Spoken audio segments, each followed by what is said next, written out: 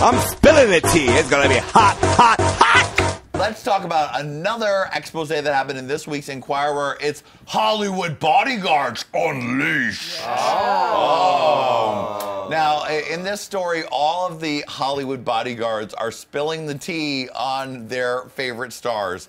So some of them include Julia goes days without a shower.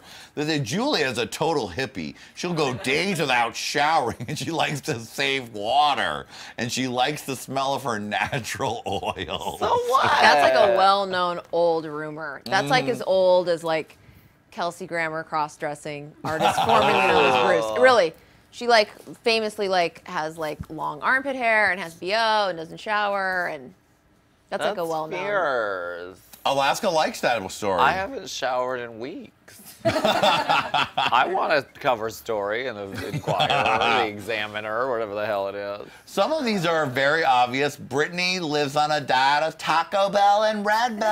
Yeah. Yay. Oh, this is a story from the greatest year of Britney Spears' life, 2008. Hallelujah. Thank you, gay Jesus, for 2008. Britney Spears, Yeah. when she was going from bathroom at CVS to bathroom at CVS to Taco Bell, shaving her head, doing all the rest. According to the source, oh, the toxic singer would vomit after meals, both at home and restaurants. So often people thought she was bulimic. And she also thought unicorns are real and lived somewhere in New Zealand. Um, get me a unicorn from New Zealand ASAP. What does ASAP mean? it had to be explained to her that unicorns were never real. get me a unicorn from my show, Julie. Julie, get me a damn unicorn from a show. But they're not real, Britney. Shut up, Julie. You're like Mariah Carey, suicidal and insane. Okay. okay. What else are those? Uh, some of these are all very obvious. Aloof Oprah's snub to neighbors. Oprah goes for power walks in the neighborhood and she's always trailed by a couple of bodyguards. One time she dropped a sweater in the street. The neighbor picked it up and returned it to her home with a note, and Oprah didn't even bother to thank her. What? Like burn the sweater. Oprah don't have time for that. Tom, thank you. She don't have time to write no damn notes. No, I would like. I think I want to become a bodyguard. Do you?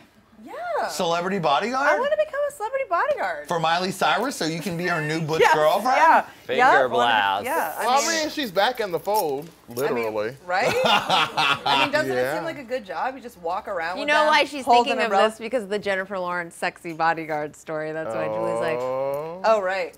And what was the Jennifer Lawrence sexy bodyguard story? that, That she was getting sexy with ass bodyguard. Oh, that yeah. she has a new sexy bodyguard. That's the story. Julie's like, I think I kind of want to be. Should I get into being like a celebrity bodyguard? I'm like, I could do it. absolutely. you could. I could. could keep paparazzi away. they don't do anything. They don't Would- do anything. They could think they'll think I'm a guy, and they'll be like, hey, Would you take a bullet for him? a bullet. Because the assassination attempts are far and wide. I mean, I would learn Krav Maga and be able to take someone Yeah, down. Julie, don't oh, don't him be doing know. no Chuck Norris kick, bitch. Watch it And be like, now. watch out! Don't touch Jennifer. Like that? Long, long. Let's take a look at the picture of Jennifer Lawrence's hot bodyguard. We pretend we've seen it. Wow.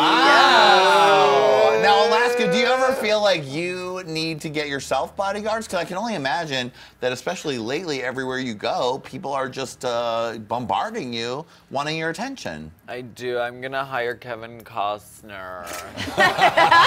and he's gonna carry me through the crowd. Oh, you already do do amazing a version of "I Have Nothing" that I hope will be one of your next singles. I hope so too. if you've never seen Alaska do I Have Nothing, you're missing out. Everybody on Battle of the Seasons was lip syncing, doing tricks, and whatever, and suddenly a light came down. Dun, dun, dun, dun, dun. Alaska came out with a big flower. And gave, give me just a little taste of that, Alaska. And a hue, and a hue, and a hue. You're gonna love me. Wonderful! Bravo! Bravo!